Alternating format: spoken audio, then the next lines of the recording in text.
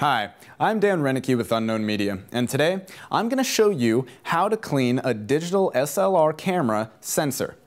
On a DSLR camera, the sensor is basically the brain of your camera, so you're going to want to make sure you are very comfortable with cleaning it.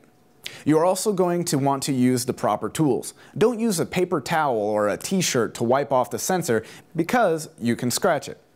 Start by turning the camera on, go into the menu options and find the Clean Sensor option and select Clean it manually. What this is going to do is flip up the mirror inside your camera to reveal the sensor. You will now remove the lens. Be careful because your sensor is now fully revealed.